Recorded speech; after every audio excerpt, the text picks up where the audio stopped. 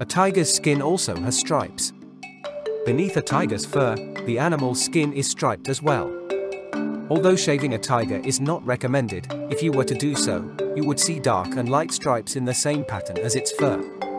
Just as some men have a very visible 5 o'clock shadow where their beards grow, the dark hair follicles of a tiger are easily distinguished from the light ones on its skin.